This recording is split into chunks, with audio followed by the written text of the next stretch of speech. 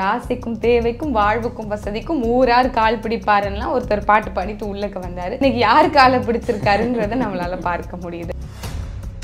தேர்தலுக்கு தேர்தல் நடத்தக்கூடிய டிராமாவை தான் பார்க்க. இறுதியில் எல்லாரும் சமரசம் அடைய வேண்டிய ஒரு தேவை வருது. பதிமூணு ஆண்டு காலமாக இரண்டாயிரத்தி பதினாறுல முதல் தேர்தலை கண்ட நாங்கள் இன்று வரைக்கும் என்னதான் நாங்கள் வெற்றி பெறலை அப்படின்னாலும் சமரசம் இல்லாம களத்துல நிக்கிறது மக்களை மற்றவங்க கிட்ட அடகு வைக்காம மக்களுக்காக வந்தோம் மக்களுக்காகவே நிக்கிறோம் எளிய மக்களின் பிள்ளைகள் தேர்தல் நேரத்தில் கட்சி நிர்வாகிகள்லாம் சில பேர் வெளியே போகிறாங்க கொஞ்சம் நிதானமா இருந்து யோசிச்சு பார்த்தீங்க அப்படின்னா இவரை தவிர்த்து இந்த அரசியல் கட்சியை தவிர்த்து வேற யாரும் நமக்காக நிற்க போவது இல்லை. தேர்தல் தொடர்பான தொழில்கள் அதிகமாயிடுச்சு. இன்னைக்கு தேர்தல் என்பதை விடுங்க. இன்னைக்கு அரசியல் களம் என்பதே ஒரு நிறுவனமாக மாறி இருக்கு அரசியல்வாதிகள் நிறுவன தலைவர்களாக செயல்பட்டு இருக்காங்க. குறைந்தபட்சம் ஒரு இரண்டு ஆண்டு காலத்திலேயே பாண்டு பத்திரங்கள் மூலியமாக அவங்க வந்து அதாவது லஞ்சம் வாங்குவதையே சட்டமாக்கி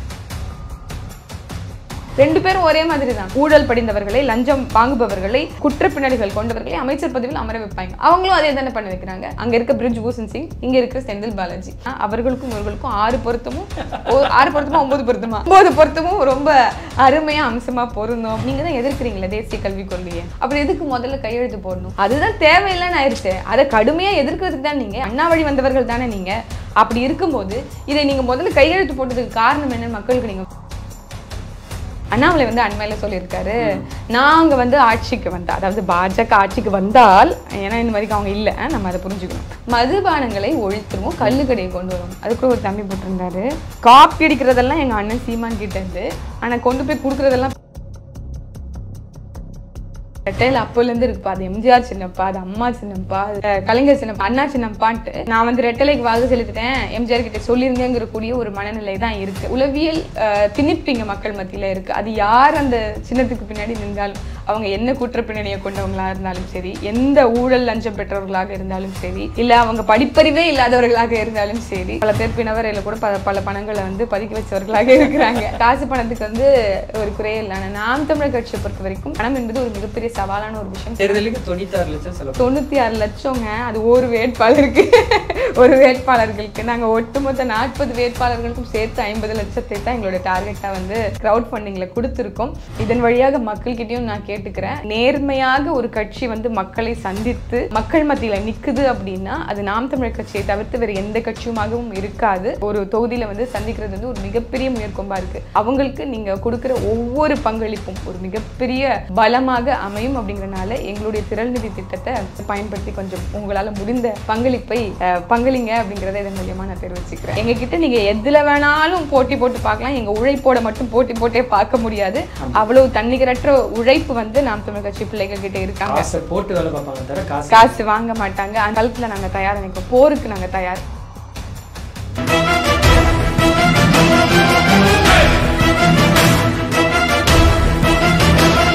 வணக்கம். வணக்கம். எப்படி இருக்கீங்க? நலமா இருக்கேன். நீங்க எப்படி இருக்கீங்க? நலமா இருக்கும். இப்போ ஒரு சின்னம் வந்து நான் அறிவிக்கப்படல கட்சிக்கு. எந்த சின்னத்துல போட்டியிடும் அப்படிங்கிறதே தெரியல. அது உங்களுக்கு சவாலா இருக்கா?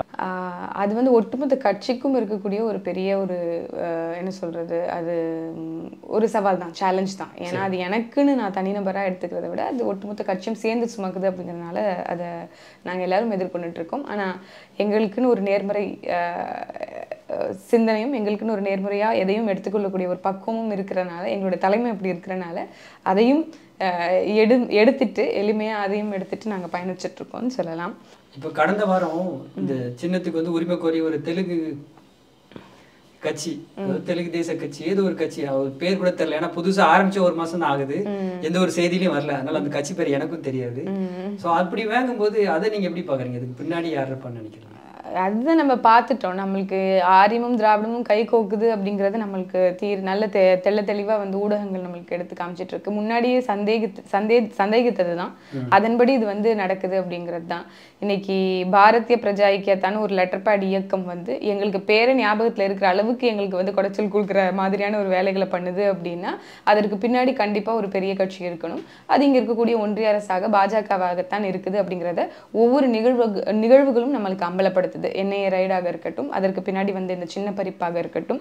இன்னைக்கு தமிழ்நாட்டில் இவங்க வரதுக்கு யார் கை கோ கை க- கூட்டி நிற்கிறா இல்லை அவங்களுக்கு கை கோர்த்து நிற்கிறா அப்படின்றத நம்ம பார்த்தோம் அப்படின்னா இங்கே இருக்கக்கூடிய திராவிடர்களும் அதற்கு உடந்தையாக இருக்கிறார்கள் அப்படிங்கிறது அவர்களுடைய வாகனத்தை பார்த்தே நம்மளுக்கு தெரியுது. ஏன் அப்படின்னா திராவிட தெலுங்கு தேச கட்சி அப்படிங்கிற கட்சியோட கூட்டணி வைக்குது இந்த தமிழ்நாட்டில் போட்டியிடக்கூடிய இந்த பிஏபிங்கிற இந்த பார்ட்டி அப்ப தெலுங்கு தேசம் கட்சி யாருன்னு கொஞ்சம் போய் பின்னாடி தோண்டி பார்த்தோம் அப்படின்னா இந்த ஜெயக்குமாருங்கிறது நாயுடுவான் அதுக்கப்புறம் அவர் பல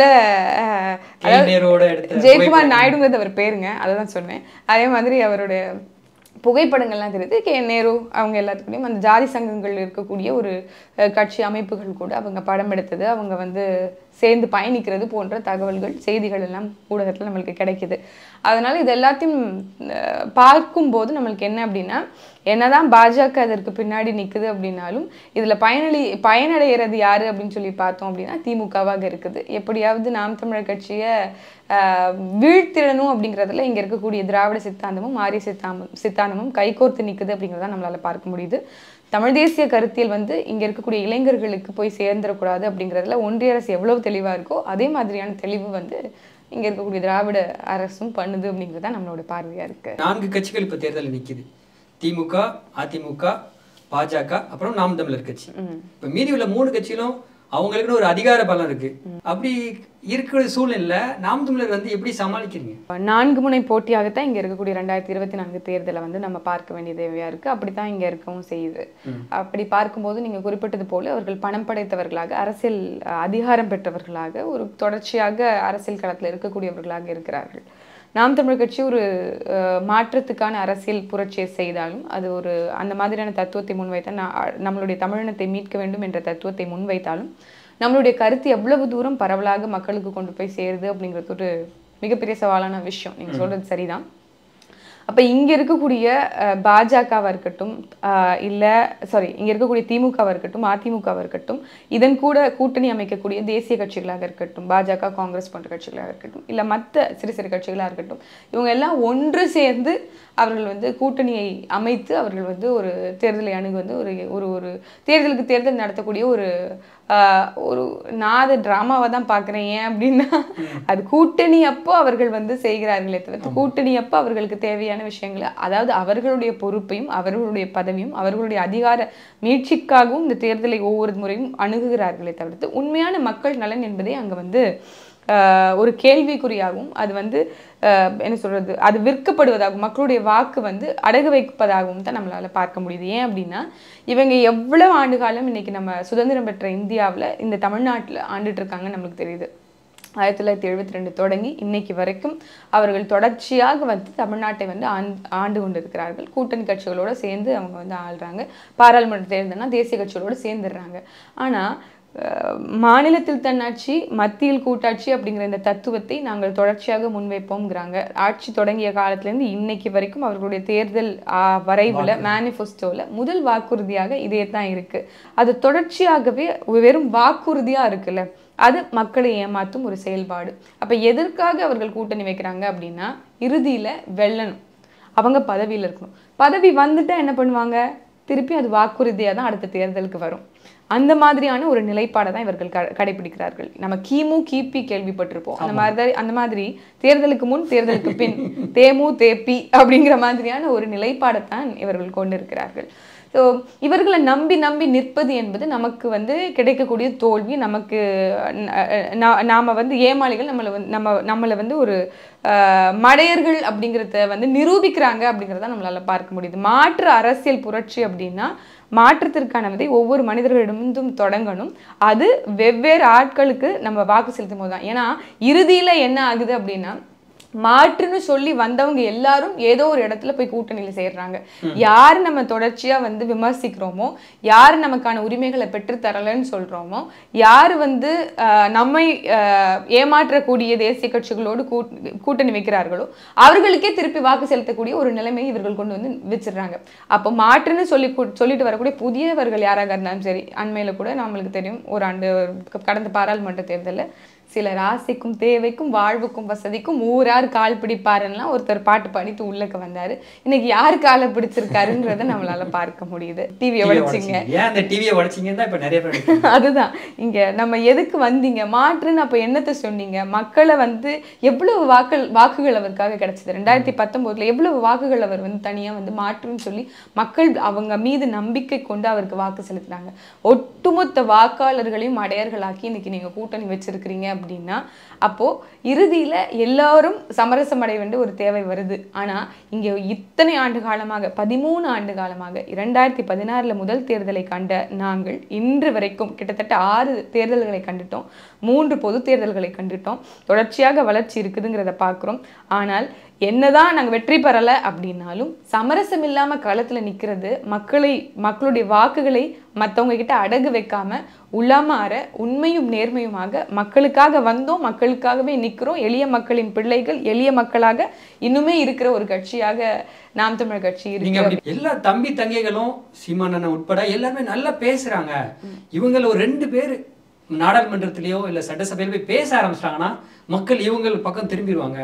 அதனால அந்த ஒரே ஒரு முறை கூட்டணி வச்சுட்டா நல்லா இருக்கும். யாராவது சொல்லுங்க அப்படிங்கிற மாதிரி சொல்றாங்க. இல்ல அதாவது எங்களுடைய கொள்கை கோட்பாடுக்கும் அவங்களுடைய கொள்கை சித்தாந்தங்களுக்கும் முரண் எக்கச்சக்கமா இருக்கு. நாம அவர்களுடைய பல விஷயங்களை ஏற்கல.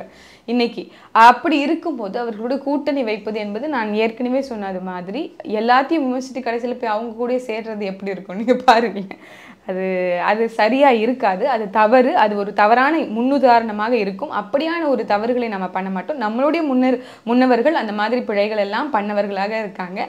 அதுலேருந்து ஒரு ப- பாடத்தை வந்து ப படிக்க வேண்டியது அவசியமாக இருக்குது. பல விஷயங்களை படிக்கிறோம். லேர்ன் பண்ணுறோம் ஆனால் ஒரு சில விஷயங்களை அன்லேர்ன் பண்ணுறதும் அவசியமாக இருக்குது திமுக வந்து சொல்றாங்க பாசிசம் ஒழியட்டும். நமது குரல் டெல்லியில் ஒலிக்கட்டும் அப்படிங்காங்க. ஏற்கனவே முப்பத்தெட்டு எம்பி வச்சிருக்காங்க.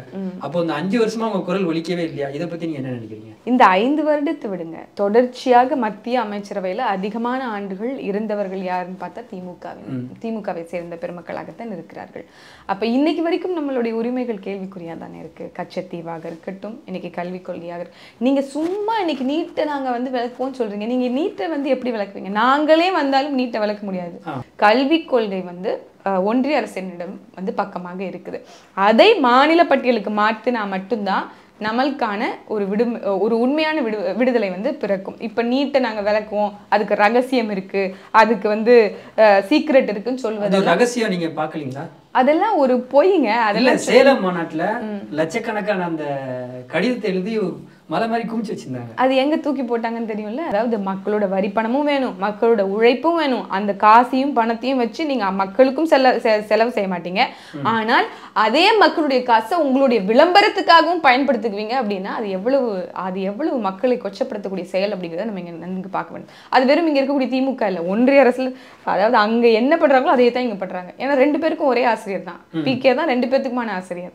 அப்ப அவங்க என்ன பண்றாங்களோ அதே தான் இங்க பிர- பிரதிபலிக்கிறாங்க. இங்க வந்து இங்க வந்து சென்ட்ரல் ரயில்வே ஸ்டேஷனுக்கு போனா பெரிய பெரிய சிலோவெட்ஸ் இருக்கு.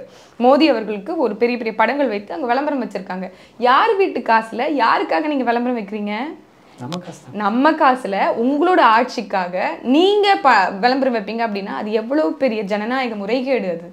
அப்ப இதெல்லாம் நாங்க மக்கள் கேள்வி கேட்டோம் அப்படின்னா எங்களை தூக்கி நீங்க வந்து ஒரு வழக்க போட்டு எங்களை தூக்கி உள்ளக்க வைப்பீங்க. இதுதான் இங்க நடக்கக்கூடிய ஒரு ஒரு ஒரு இது ஒரு ஒரு ஒரு சைக்கிள் இது இது தொடர்ச்சியாக நடந்துட்டு இருக்கு இதை பிரேக் பண்ணணும்.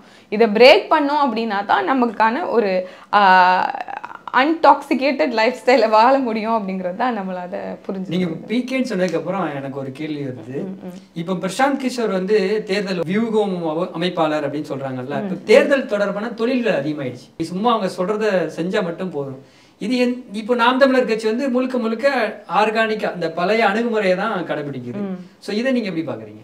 இல்ல அதுதான். இன்னைக்கு தேர்தல் என்பதை விடுங்க. இன்னைக்கு அரசியல் களம் என்பதே ஒரு நிறுவனமாக மாறி இருக்கு அரசியல்வாதிகள் நிறுவன தலைவர்களாக செயல்பட்டுட்டு இருக்காங்க அப்படித்தான் இன்னைக்கு வந்து ஒட்டுமொத்த சமூகமும் மாறி இருக்கு இன்னைக்கு பொது இப்போ குழந்தைக்கு வந்து பல விஷயங்களை சொல்லி தந்து வளர்க்கணும்னு சொல்றோம். ஒரு நெறிமுறை வாழ்க்கை நெறிமுறையை சொல்லி வளர்த்து வளர்க்கணும்னு சொல்லி சொல்றோம்.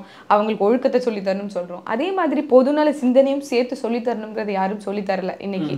அது வந்து இன்னைக்கு என்ன ஆயிடுச்சு அப்படின்னா மக்கள் பொதுவா பொது பொது சமூகத்தை பத்தி சிந்திப்பது இல்லை. அந்த மாதிரியான ஒரு ஒரு மாறுதல் இங்கே வந்து ஏற்பட்டுருச்சு. இது வந்து நமக்கான ஒரு ஹெல்தியான ஒரு லைஃப் ஸ்டைலை கொடுக்காது. ஏன் அப்படின்னா இந்த நாடு நல்லா இருந்தால் தான் நம்ம நல்லா இருப்போம். அப்ப இந்த நாட்டின் மீது இருக்கக்கூடிய அக்கறை நம்மளுக்கு வந்து ஒரே ஒரு வகையில தான் நீங்க இந்த ஜனநாயகத்தை காப்ப காப்பாற்ற முடியும். அது உங்களுடைய வாக்குரிமையால. எல்லாத்தையும் விட ஒரு சக்தி வாய்ந்த ஆயுதம் இருக்கு அப்படின்னா அது வந்து வாக்கு அப்படின்னு தான் நம்ம சொல்றோம். ஏன் அப்படின்னா அது ஒட்டுமொத்த மக்களுடைய நலனை தேர்வு செய்யக்கூடிய ஒரு விஷயமாக இருக்கு. இத்தனை பேர் நம்மளுக்கு அகேன்ஸ்டா வந்து அதாவது ஒரு அரசியல்வாதி ஒரு அரசியல் கட்சி ஒரு ஒட்டுமொத்த நூற்றி முப்பது கோடி மக்களுக்கும் அகேன்ஸ்டா வந்து ஒவ்வொரு செயல்பாடுகளும் கொண்டு வருது அப்படின்னா அதை தீர்மானிக்கிறது நம்மளா தானே இருக்கோம். நாமளா தானே இருக்கோம். அப்போ உங்ககிட்ட தான் அந்த மாற்றம் வரும். அப்போ அந்த சமூக அக்கறை அந்த சமூக சிந்தனை என்பது மக்கள் மத்தியில வேணும் அப்படிங்கிறது தான் இன்னைக்கு பார்வையாக இருக்குது. இவர்கள் முதல்ல கரைபிடியாத கரங்களுக்கு சொந்தக்காரர்களாங்கிற பார்க்க வேண்டிய ஒரு அவசியம் இருக்கு. அப்படி பார்த்தோம் அப்படின்னா இல்லைங்கிறத தான் நிரூபிச்சிருக்காங்க. குறைந்தபட்சம் ஒரு இரண்டு ஆண்டு காலத்திலேயே அவங்க எவ்வளவு ஆயிரம் கோடி இந்த பாண்டு பத்திரங்கள் மூலியமாக அவங்க வந்து ஊழல் பெற்றிருக்காங்க அப்படிங்கிறது நம்மளுக்காக நம்மளுக்கு தெரியுது. அதாவது லஞ்சம் வாங்குவதையே சட்டமாக்கி ஆமா சட்டமாக்கி அதை வந்து அவர்கள் வந்து செலுத்திட்டு இருக்காங்க அப்ப என்னன்னா கார்ப்பரேட் நிறுவனங்களுக்கு வரிகளை குறைத்து விட்டு அவங்க கிட்ட போய் மிரட்டி அடிச்சு உடைச்சு அவங்க கிட்ட இருந்து பணம் வாங்குற ஒரு செயல் செயற்பாட்டை இங்க இருக்கக்கூடிய ஒன்றிய அரசு ரொம்ப தீவிரமாக செய்தது அப்படிங்கறத அண்மை ரெண்டு நாட்களாக நம்மளுக்கு வெட்ட வெளிச்சப்படுத்திக்கிட்டு இருக்காங்க. மொத்தம் பதினெட்டாயிரம் கோடியோ என்னமோ வந்து எலக்டோரல் பாண்ட்ஸ் ஒட்டுமொத்த எல்லா சேர்ந்து வாங்கியிருக்கு. அதுல அதிகபட்சமாக பாஜக வாங்கியிருக்கிறது அப்படிங்கறத அப்படி நீங்க பார்க்கும்போது சொல்றீங்கல்ல? நாங்க பதினெட்டு மாநிலத்துல இவ்வளவு கோடி வாங்கியிருக்கோம். ஆறாயிரம் கோடி வாங்கியிருக்கோம். திமுக வந்து ஒரே ஒரு மாநில கட்சி அறுநூறு கோடி வாங்கியிருக்காங்க. சோ எங்களை பிரிச்சா வந்து நூறு கோடி வருது. இவங்களை பிரிச்சா அறுநூறு கோடி வருது. இல்ல, இவங்க- தான் அதிகமா வாங்கியிருக்காங்க அப்படிங்கிற இல்ல இவங்க ரெண்டு பேருமே ஒண்ணுதான். நானே சொல்லிட்டேனே. The BJP is equal to DMK அப்படிங்கிறத பல இடங்கள்ல வந்து நிரூபிச்சிட்டாங்க. இன்னைக்கு கூட பிஎம் ஸ்ரீ ஸ்கூல்ஸ் அப்படிங்கிறத நாங்க செயல்படுத்துறதுக்கு ஒப்பந்தம் எம்ஓயு போட்டிருக்கிறாங்க. நீங்க அதை எதிர்க்கிறீங்க அப்படின்னா எதுக்கு எம்ஓயு போட்டீங்க முதல்ல? எதுக்கு ஒப்பந்தத்துல கையெழுத்திடணும்? நீங்க தான் எதிர்க்கிறீங்களே தேசிய கல்விக் கொள்கையை. அப்புறம் எதுக்கு முதல்ல கையெழுத்து போடணும்? அதனுடைய விளைவுகள் தெரியறதுக்கா? அதுதான் தேவையில்லைன்னு ஆயிடுச்சு அதை கடுமையா எதிர்க்கிறதுக்கு தான் நீங்க அண்ணா சொன்ன அண்ணா வழி வந்தவர்கள் தானே நீங்க. அப்படி இருக்கும்போது இதை நீங்க முதல்ல கையெழுத்து போட்டதுக்கு காரணம் என்னன்னு மக்களுக்கு நீங்க உங்களுக்கு உங்களால சொல்ல முடியுமா? இப்படி தொடர்ச்சியாக பிஜேபி என்ன செய்தோ அதை இவர்கள் இங்க வந்து ப்ரொமோஷன் பண்ணுவாங்க. அதாவது இங்க அவர்களுடைய செயல்பாடுகள் மக்கள் ஆன்டி இன்கம்பன்சி இங்க நம்மளுக்கு தெரியும். ஆமா. ஆனா இதை தூக்கிட்டு போய் வட மாநிலத்துல அட்வர்டைஸ் பண்ணுவாங்க. ஃப்ரண்ட் பேஜ் ஜாக்கெட் பேஜ்ல அவங்களோட விளம்பரங்கள் இருக்கும். இதுவே பிஜேபி என்ன பண்ணும்? வெளிநாடுகள் அட்வைஸ் அட்வர்டைஸ்மெண்ட் பண்ணும். இந்தியா ஒரு சிறந்த நாடு அப்படிங்கறத அவங்க அட்வர்டைஸ் பண்ணுவாங்க. ரெண்டு பேரும் ஒரே மாதிரி தான் இவர்களும் ஊழல் படிந்தவர்களை லஞ்சம் வாங்குபவர்களை குற்ற பின்னணிகள் கொண்டவர்களை அமைச்சர் பதவியில் அமர வைப்பாங்க. அவங்களும் அதே தானே பண்ண வைக்கிறாங்க. அங்க இருக்க பிரிட்ஜ் பூஷன் சிங் இங்க இருக்கிற செந்தில் பாலாஜி இப்படி எல்லா எல்லா இடத்துலயும் பாத்தீங்க ஒப்பிட்டு பார்த்தோம் அப்படின்னா அவர்களுக்கும் இவர்களுக்கும் ஆறு பொருத்தமும் ஆறு பொருத்தமா ஒன்பது பொருத்தமா? ஒன்பது. ஒன்பது பொருத்தமும் ரொம்ப அருமையா அம்சமா பொருந்தும் அப்படிங்கிறது தான் நம்மளால பார்க்க முடியும். இவர்கள் ரெண்டு பேரும் இப்போ சிலைச்சவர்கள். ஒருத்தவங்களுக்கு ஒருத்தவங்க சிலைச்சவங்கள ரெண்டு பேரும் ஈக்குவல் தான். சும்மா இங்க லாவணி சண்டை. நம்ம மக்கள் கிட்ட நமக்கு நான் நம்மளுக்கு முன்னாடி சும்மா ஒரு ஒப்புக்கு ஒரு சண்டை போடுவாங்க. நாளைக்கு பிஜேபி வின் பண்ணாலும் அவங்க கூட கூட்டணி வைக்கும் திமுக. அது உறுதியா செய்யும். ஏன்னா அந்த மாதிரியான வரலாறை கொண்டவர்கள் தான் அவர்கள். முதல் முதல்ல பாஜக இங்க கால் பதிப்பதற்கு முக்கியமான காரணமாக இருந்தவர்களே திமுக தானே. அம்மையார் ஜெயலலிதா இருக்கும்போது வாஜ்பாய் என்னோட ஆட்சி கவிழும் போது இவங்க தானே போய் தாங்கி பிடிச்சாங்க. அவங்களை இங்க தான் இங்க வர வைக்கிறதுக்கான முக்கிய காரணம் அவர்களாகத்தானே இருந்திருக்கிறாங்க அப்படி இருக்கும்போது இங்க ஐயா ஹெச் ராஜாவை போன்றவர்கள் எல்லாம் இன்னைக்கு அவங்கள எம்எல்ஏ ஆக்கியிருக்காங்க அப்படின்னா இல்ல அன்னை- அன்னைக்கு வந்து அமைச்சர் பதவியில உட்கார வச்சிருக்காங்க அப்படின்னா அதற்கு காரணம் வந்து இன்னைக்கு வந்து முக்கியமாக வந்து இங்க இருக்கக்கூடிய திராவிட கட்சிகளாகத்தான் இருந்திருக்கிறது. இப்போ நாடாளுமன்ற தேர்தலும் போது வாக்காளர்கள் எண்ணிக்கை அதிகம். இப்ப செலவு அதிகமா வருமே? செலவு எப்படி சமாளிக்கிறது? அஹ் நாம் தமிழர் கட்சி கிட்ட எல்லா வகையிலும் பலம் இருக்கு. கொள்கை ரீதியாக சித்தாந்தம் ரீதியாக உடல் உழைப்பு ரீதியாக தன்னலமற்று மக்கள் சேரக்கூடிய இந்த உழைப்பு இருக்குல்ல இது ஆண் பெண் வேறுபாடு இல்லாத பங்களிப்பு. இப்படின்னு எல்லா விதமான பலமும் நாம் தமிழர் கட்சிகிட்ட இருக்கு. ஒரே ஒரு பின்னடைவு எங்களுக்கு இருக்கு அப்படின்னா அது பொருளாதார பின்னடைவு தான். அதை எதிர்கொள்வதற்குத்தான் இன்னைக்கு எந்த கட்சியும் எல்லாரும் வெவ்வேறு வகையில எலக்டோரல் பாண்ட் எல்லாம் பண்றாங்க. நம்மலாம் அதெல்லாம் பண்ணல. பல பல பேர் பிணவரையில கூட பல பல பணங்களை வந்து பதுக்கி வச்சவர்களாக இருக்கிறாங்க. ஸோ அப்படி அவங்களுக்கு காசு பணத்துக்கு வந்து ஒரு குறையே இல்லை. ஆனால் நாம் தமிழர் கட்சியை பொறுத்த வரைக்கும் பணம் என்பது ஒரு மிகப்பெரிய சவாலான ஒரு விஷயம். பொருளாதாரம் என்பது ஒரு மிகப்பெரிய சிக்கலான விஷயம். அதற்கு தான் நாங்கள் க்ரௌட் ஃபண்டிங் அப்படிங்கிற கூடிய திரள் நிதி திட்டத்தை வந்து நாம் தமிழர் கட்சி வந்து முன்வைத்திருக்குது. அதிகபட்சமா ஐம்பது லட்சம் தான் நாங்க வச்சிருக்கோம். அதாவது இது எலெக்ஷன் கமிஷன் நம்மளுக்கு கொடுத்துருக்கக்கூடிய லிமிட் என்ன அப்படின்னு சொல்லி பார்த்தோம் தேர்தலுக்கு தொண்ணூத்தாறு லட்சம் செலவு தொண்ணூத்தி ஆறு லட்சங்க. அது ஒரு வேட்பாளருக்கு.